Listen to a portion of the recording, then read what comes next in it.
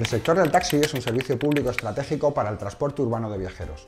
Da trabajo a más de 100.000 familias en España. Como sucede con otros sectores, el taxi está sufriendo los efectos de la llamada uberización de la economía. ¿Qué es la uberización de la economía? Aunque han tratado de subirse al carro de la supuesta economía colaborativa, empresas como Uber y Cabify buscan en realidad implantar un modelo de mercado extractivo basado en el trabajo desregularizado, precario y sin derechos. ¿El objetivo de este modelo? Que unas pocas empresas monopolicen sectores del mercado gracias a estrategias de competencia desleal, es decir, tirando precios para destruir la competencia y subirlos después para extraer la riqueza de los países donde operan.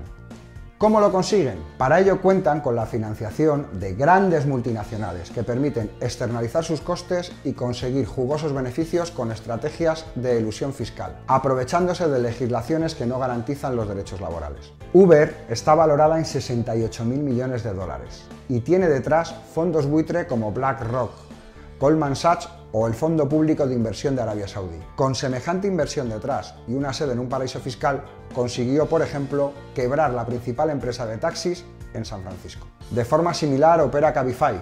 ¿Y quién está detrás? Multinacionales como Rakuten o el Fondo Seaya, participado por el BBVA. Los trabajadores y las trabajadoras del sector del taxi han sido claves para poner encima de la mesa los peligros que entraña la uberización de la economía. Por eso apoyamos la movilización que están llevando a cabo en defensa de sus derechos. Debemos apostar por medidas legislativas que eviten la cooptación del transporte urbano por empresas extractivas.